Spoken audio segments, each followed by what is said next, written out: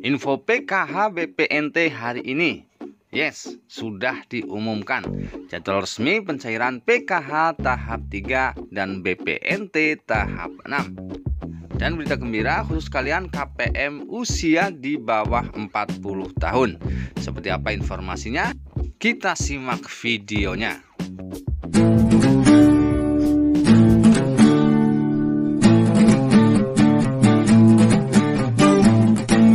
Assalamualaikum warahmatullahi wabarakatuh dan salam sejahtera buat kita semuanya. Teman-teman sosial semuanya bagaimana kabar kalian? Semoga selalu dalam keadaan sehat dan dimudahkan segala urusannya. Amin amin ya robbal alamin. Dan pada kesempatan kali ini saya akan berbagi informasi tentang jadwal resmi pencairan PKH tahap 3 dan BBNT tahap 6 dan berita gembira untuk kalian KPM di bawah umur 40 tahun. Seperti apa informasinya? Sebelum ke pembahasannya teman-teman sosial semuanya mari kita berteman dengan cara subscribe channel ini dan tekan tanda loncengnya untuk selalu mendapatkan notifikasi berita dan tips-tips bermanfaat lainnya dari channel ini secara gratis. Karena channel ini akan selalu update membahas tentang bansos-bansos dari pemerintah dan tips-tips bermanfaat lainnya supaya kalian tidak ketinggalan berita. Dan teman-teman sosial semuanya langsung saja kita ke informasinya. Jadi teman-teman sosial semuanya untuk tanda-tanda KPM PKH yang akan cair di pencairan bantuan PKH tahap 3 dan KPM BPNT yang akan cair lagi di BPNT tahap ke-6. Yang pertama, kita bisa cek ya di cek bansos.kemensos.go.id. Jadi jika nama kalian di cek bansos.kemensos.go.id masih tercatat sebagai penerima PKH di kolom bantuan PKH masih statusnya ya untuk periode salur tahun 2022. Dan untuk BPNT kalau kita lihat di kolom BPNT statusnya juga ya dan keterangannya proses bank Himbara atau PT Pos periodenya Mei 2022. Kalau statusnya seperti itu teman-teman berarti untuk bantuan PKH tahap 2 ataupun BPNT tahap 4 dan 5 sudah dicairkan atau sudah disalurkan. Selanjutnya untuk pencairan PKH tahap 3 dan juga BPNT tahap 6, kesempatan untuk cair lagi KPM ini sangat besar. Selanjutnya yang kedua untuk KPM PKH maupun BPNT yang akan cair lagi bantuannya di tahap selanjutnya adalah bagi yang sudah cair PKH tahap 1 dan 2 ataupun BPNT tahap 4 dan tahap 5. Jadi bagi teman-teman KPM PKH yang sudah cair PKH tahap 2 atau untuk BPNT sudah cair untuk tahap 4 dan tahap 5, maka kemungkinan besar akan cair lagi di tahap selanjutnya. Namun sekarang pertanyaannya adalah apakah untuk KPM PKH yang sudah cair PKH tahap 2 ataupun yang BPNT-nya sudah cair di tahap 4 dan tahap 5 apakah juga sudah bisa dipastikan di tahap selanjutnya akan cair lagi bantuannya? Dan jawabannya tentu saja tidak teman-teman. Karena seperti kita ketahui bersama, setiap bulannya ada verifikasi ketidaklayakan penerima program bantuan sosial atau bansos yang dilakukan oleh operator 6NG yang nantinya akan dilaporkan ke pusat. Untuk pencairan PKH tahap 3 ini, verifikasi ketidaklayakan penerima bansos dimulai dari bulan April, Mei, dan bulan Juni. Sedangkan untuk BBNT tahap 6, verifikasi dimulai bulan April dan bulan Mei 2022 ini.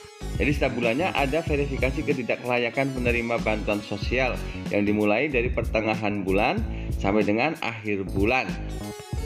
Dan jika diverifikasi ketidaklayakan penerima bantuan sosial, ternyata KPM terjaring sebagai penerima bantuan yang sudah sejahtera perekonomiannya maupun pekerjaannya.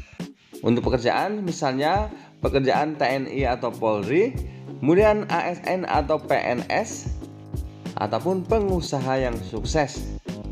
Di mana untuk KPM yang memiliki anggota keluarga dengan pekerjaan yang saya sebutkan tadi tidak layak mendapatkan bantuan sosial.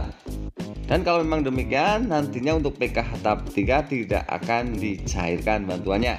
Selain bantuan PKH, bantuan BPNT dan juga bantuan PBI juga tidak akan dicairkan lagi. Begitu juga dengan KPM PKH yang graduasi secara alami. Graduasi secara alami ini adalah karena sudah tidak memiliki komponen lagi dalam keluarganya. Tentu saja nantinya dia akan masuk ke dalam verifikasi ketidaklayakan penerima bantuan sosial. Karena untuk bantuan PKH sendiri, salah satu syaratnya adalah memiliki salah satu komponen di dalam keluarga. Namun bedanya untuk KPM PKH yang digraduasi karena verifikasi ketidaklayakan penerima bansos dengan KPM yang graduasi secara alami karena sudah tidak memiliki salah satu komponen dalam keluarga.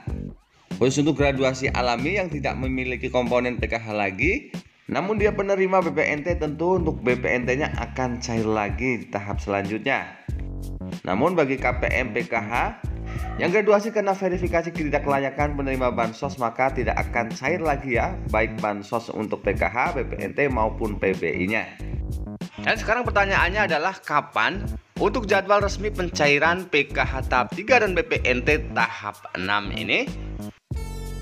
Jadi teman-teman, kalau kita lihat pengumuman resmi dari Kementerian Sosial untuk penyaluran PKH di tahun 2022 ini dibagi menjadi empat tahap.